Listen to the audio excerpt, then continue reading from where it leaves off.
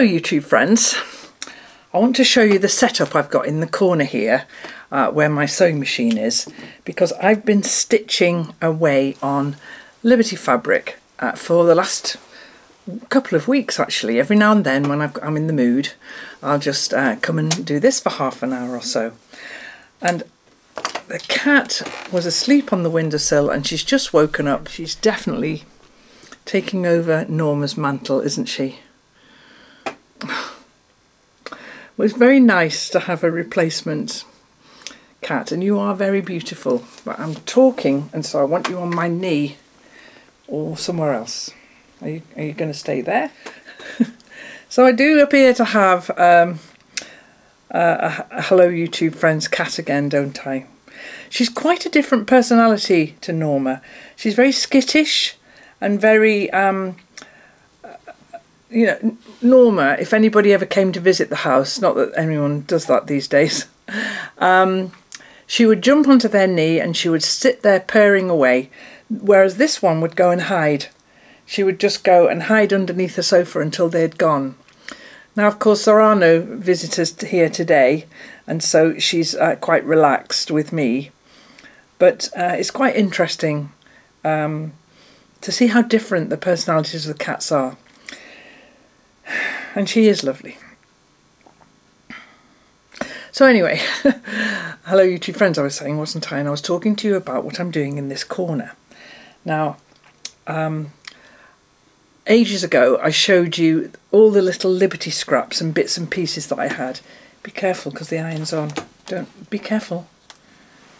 She likes it really hot, but the iron is hot. I'm not going to get anything talked about, am I? Liberty. I took. Uh, I'll put a link uh, either on the on the end card is where I'll put the link because um, that's a good place to put it. To the video about the me unearthing all my Liberty scraps, but what I'd first of all like to say is that I got such a lot of really, really exceptionally good comments. And of course, one of the things I should do with the long strips is save them to tie up uh, plants in the garden in the summertime. So I've got a basket of, of all the strips over there, but I'll tell you what I did with the rest of the small scraps in a minute. What I'm doing now though is um, I've got all my blue ones out here at the moment and I've got my uh, tape and I'm stitching um, exactly like Karen uh, Just Get It Done Quilts recommends. I'm doing that with blue Liberty strips. It's a really good video. Uh, maybe I'll put it in the description below if you didn't catch it the first time round. Um, and so I'm doing it with blue um, Liberty and pink Liberty. It doesn't really matter how long they are because of course I can always sew two together if I want to and make a longer strip. I can sew two side by side if I want to do that. I haven't really decided what it is I'm going to do with them. For now, making them is enough. And so I've got two that I've just finished making here. And uh, what I'm going to do with them now is trim them down to I'm actually trimming them to a half an inch off the end here, which gives me, because I'm making them much longer than I need to when I sew them. So I've got, I've counted the pink ones, I've got 14 of those. I don't know how many blue ones, probably about the same. But I'm nowhere near, anywhere near sorting out all my little tiny scraps. So I thought I'd just keep going, a few minutes every time I feel like it, uh, making these um, blue strips. Uh, how I've got my setup here I've got uh, a drawer in the corner here that's got all the pink and blue scraps in. And when I'm working on whatever colour I'm working on I just pull out a handful of those and then do two at a time. And that's what I'm doing. And uh, and I just I, I do it before I get sick of it. I did have my little timer. And I was doing my timer very much like Karen at Just Get It Done Quilts. And um, and then I decided to, to stop using that and I'm using a different measure. Instead, um, noticing when I get when I just start to get fed up of it and I think I'll just stop before I get fed up because sometimes that's longer than 30 minutes. I know I could always put the timer on again, but you're just going to sit there. You are, aren't you? I've got a few too many blues on the table. They keep falling off, so I'll put those back in the drawer. They're right there. I can still see them. Those are the very tiny scraps, which I'll show you what I'm doing with those. I mean, they're too tiny. I mean, look, they're this kind of size.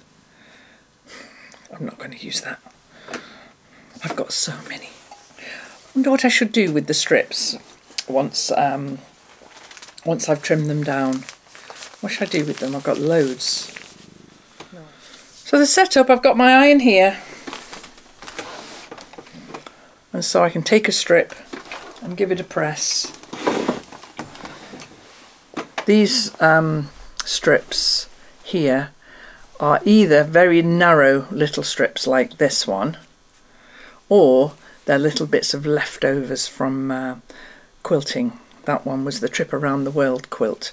And so what I'm doing with those is I'm just ripping them in half and giving them a press.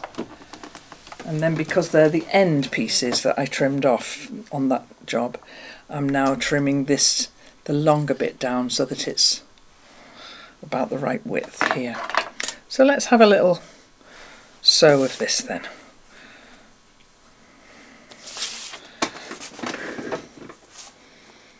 Okay.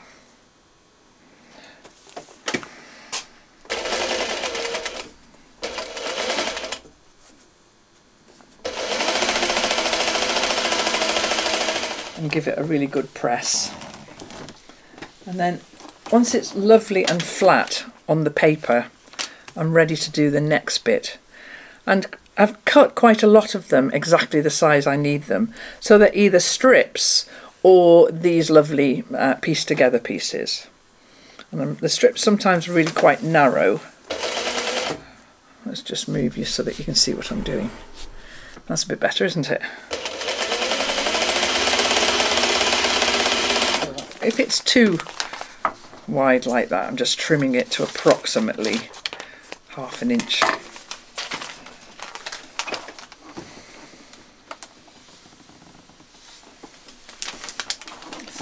and then we're ready. And then I've got the tiny little pieces here. I'll show you about those in a second. It's loads of fun. I'm having a lovely time. Some of these liberties it's very hard to tell which is the front and which is the back because they're almost identical on the front and the back and so it doesn't really matter does it if you get the wrong one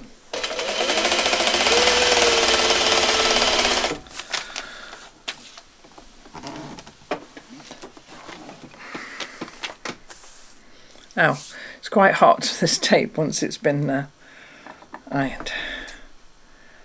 Let's cut that one down. Give it a press. It's really thin, but that's lovely. Nice skinny strips.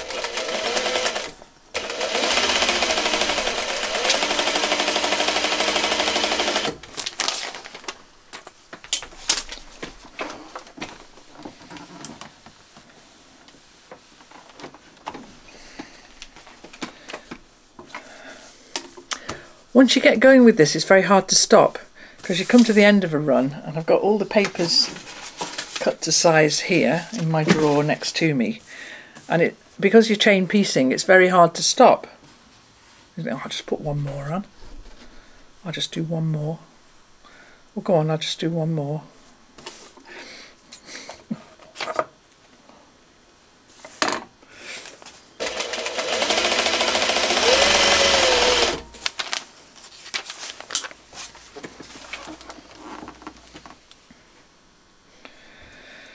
That's a nice piece.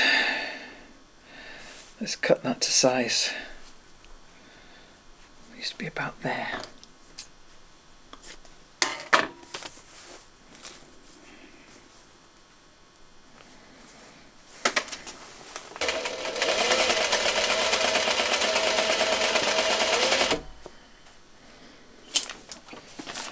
Sometimes I go a little bit wonky, not straight. Don't really mind too much about that.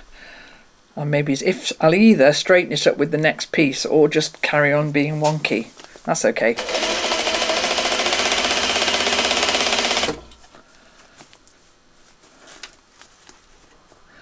And we've run out of bobbin thread. So that's probably a good time to stop recording and I'll show you what I'm doing with the scraps on the table.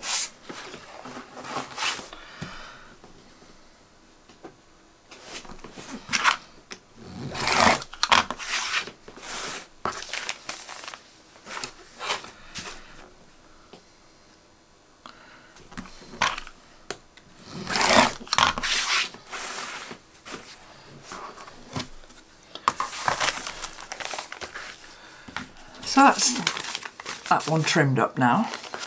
And go on the pile with this one. Got about equal numbers of them both now, but they're just going to sit in a drawer and wait for me to have time or an idea for something to do with them while I keep making more and more of them. But the little tiddlies that I cut off are going in, well these are all the blue ones just now, but here's all the, some of the little red ones over, pink ones over here. And if you remember that video, I was looking at all the scraps that were in my big box, an overwhelming number of scraps. Some of them were quite big, some of them were really, really small, and quite a lot of them were long, thin bits like this. And your, as I say, your idea of tying up my sweet peas or my tomatoes. So all the, I've taken out all the long strips that are for that job and they're going to go in here and I'm keeping those. I've also, in, the box down here, got all the bigger bits of the bits I want to keep. But then these little pieces and, you know, some little bits and pieces like this that are not going to be of any use for me in that project or in any other future project what I've been doing with them because some people said um, they would buy them and so here if I just reach over here I'll show you what I've made so in here, I'm, I measured out 100 grams of scraps, all different colours, sizes, some tiny, some a little bit bigger, and I've wrapped them up a little bit like a packet of fish and chips. And uh, that's all I've got, just that number. And But I will be able to make maybe one or two more, so they're not in the shop yet. But when I talk about these being in the shop, um, you'll know what I'm talking about. They're these. So I'm pleased with those. They're just uh, the, the sort of thing that I would do with something like this. I mean, I can't, I can't keep them all. I have way, way, way, way too many, way too many. And so it's great to share them out with you because I wasn't uh, certain what I would do. I don't really want to stuff pincushions with them because uh, if I've got plenty of pincushions, number one, but number two, I like to use walnut shells when I'm stuffing pincushions, and I've got a big bag of walnut shells upstairs. So stuffing things, that wasn't going to be the thing. Tying my plants up, I love that, so the long ones I'm keeping. These things I would make into um, postcards. I used to make postcards, uh, loads of them. Uh, they were a Patreon reward two years ago, actually. Uh, and I kept all these little scraps and bits to make these postcards with. Uh, and so I'm not making postcards like that anymore, but I do sometimes make one little card uh, for a special gift. So I've got plenty though. I don't need to keep them for that reason. So it seems to me at the moment that it is really all about um, scraps. This project is long, long overdue. I think I said in the last video, this is a project whose time has come. And as I keep making these strips, which is like making fabric, I don't know what I'm going to do with it, but it's going to be really useful as I keep making those. Uh, so I am looking at some of my other scraps as well. Now, I've just, over on Patreon, I've just finished, it's on the chair there, the last of the alongs. Um, uh, as I speak, the binding, I still have to sew the binding down, but by the time you see this, I've probably finished it. And they're all over there, over on Patreon if anybody wants to see them. The reason I go on about Patreon sometimes is that it's a place where you can watch extra content ad-free because you know how unhappy I've been about having to add ads to this channel and it had to happen because YouTube were just going to do it. But over on Patreon, there's nobody telling me to do that, so I can offer the content ad free. And also, you must have noticed the haircut, but the person who cut my hair for me comes to the house to do it, and she very kindly allowed me to film it. And there's a lovely, uh, more than half an hour video over on Patreon of, of me and her cutting my hair. Well, she cut it, I sat still. Anyway, what I wanted to get back to talking to you about, I wanted to talk to you about another different way that I'm using my scraps. Now, I might have mentioned this before, uh, and I might have talked to you about how I use uh, little thread catchers, thread bunnies at the end of a run in order to keep the sewing moving when I'm chain piecing. And I've never really got the idea of doing leaders and enders, even though I've really wanted to. Well, on this latest quilt that's um, green and red, a big startlingly green and red quilt, I did embrace the idea of leaders and enders. So I'll move the Liberty to one side. And what I've done is from all my scraps of reds and pinks, I've cut two and a half inch squares. Just when the mood took me, I would just cut them for 10 minutes or so. And then from all the neutrals that I had, I cut two and a half inch squares. And my leader and ender was quite simply stitching two of them together like this. And then I've been surprised by how many I did. Big quilt. And so then I pressed them open. So I've got my little two by two leaders and enders here and this is a small that's a, that's a pretty big pile but this is a smaller pile but this is what's happened now is that I've got these four patch things which are uh, have no home no destination no idea about what to do with them but for absolutely nothing I mean I'm preaching to the choir here because you all know, don't you, what the value of doing leaders and enders. And if you don't, when I'll quickly explain to you that instead of chain piecing um, onto a piece of fabric you're going to throw away, or leaving long tails behind, you just run your machine over something else, two little pieces of fabric that become another block. Uh, and then you build those up so that by the time you finish the quilt you're working on, you're well on your way to doing something else with the leaders and enders. Now, I've always wanted to do it. I don't know why it's taken me so long, so long, years. But I'm doing it now, and I'm a little bit of an, uh, you know, um, people who are converted uh, become very evangelical. I'm very evangelical about leaders and enders now. So I've got all these two by twos here these ones all need pressing open. And then I've got all these 2 by 2s sewn as 4 by 4s and now I've got these 4 by 4s And there was one thought uh, in my head that, again, what I'm creating here when I'm doing a project that I'm really invested in and really excited about getting on with is loads of little side projects that um, are really easy to pick up and do for a few minutes. I'm late to this party. I'm sure you've all been doing this. But there's one more um, form in this scrap busting that I really want to embrace, and I might have I might actually have a go at it today.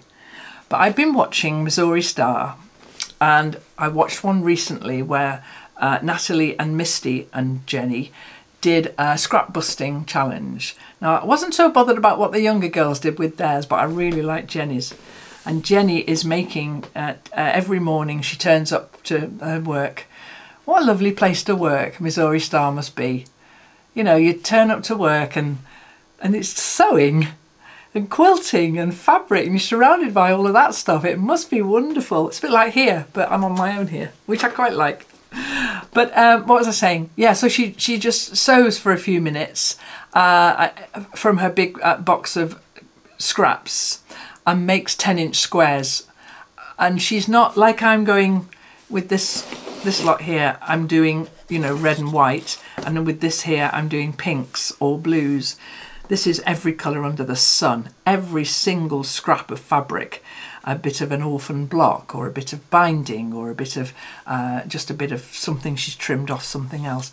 It all gets smashed together and I really do mean smashed. so I, um, and then she irons it all and cuts it with, um, she's got a 10 inch ruler and I've got this ruler. Hang on a minute, let me get it out. I've got a 12 inch ruler so I can quite easily I can quite easily do a 10 inch with that or a 6 inch or whatever I feel like doing. I mean, I have not started that one yet and you might think, well, just finish something, Kate, before you start something else.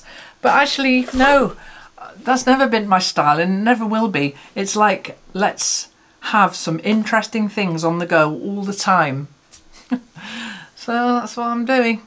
Uh, the leaders and enders, uh, when I have a few minutes to spare, I'm just pressing those open so that they, they are ready then to be leaders and enders again and turn into a four patch quite simply, uh, a little four patch like that. Uh, so there in the drawer beside me and I'll just pick two up and absolute random I'm not choosing them at all and then because I'm pressing everything to the light here uh, uh, they all nest beautifully.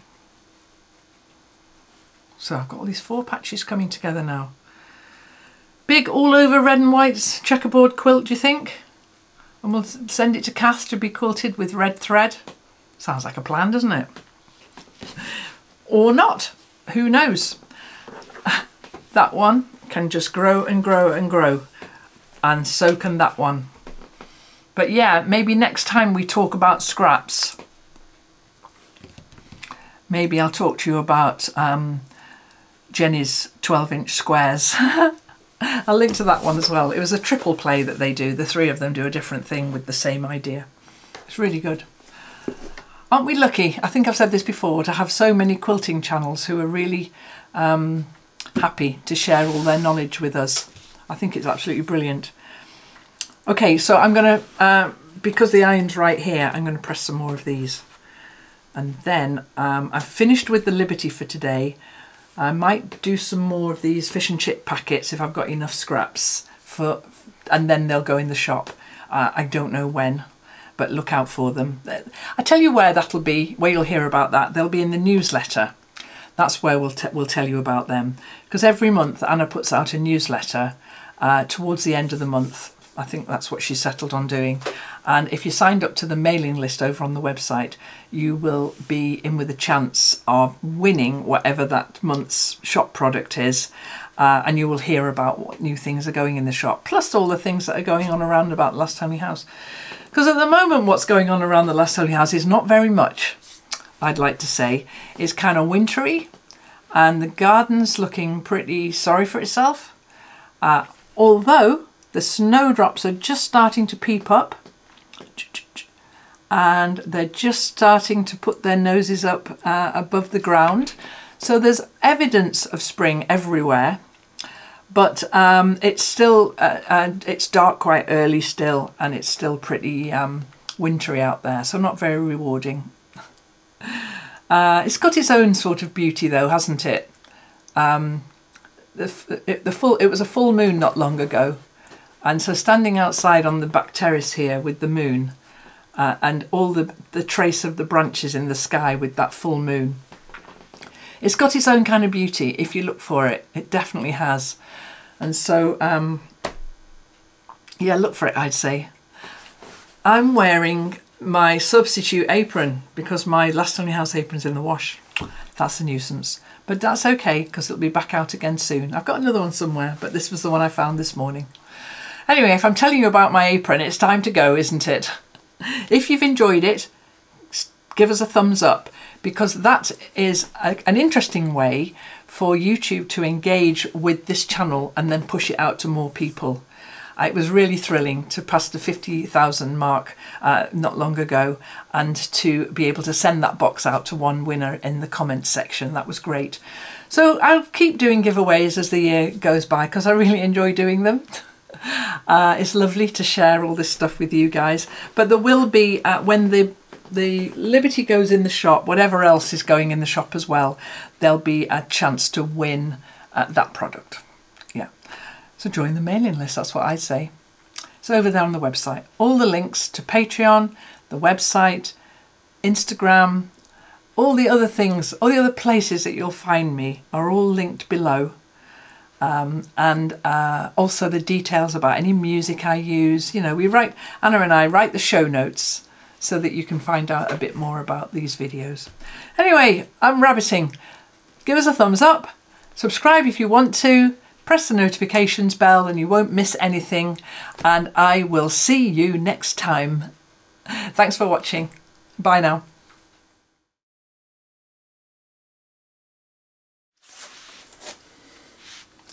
In these last few days, I've got Agnes's quilt out and put it on the back board here uh, because the board was empty, uh, strangely.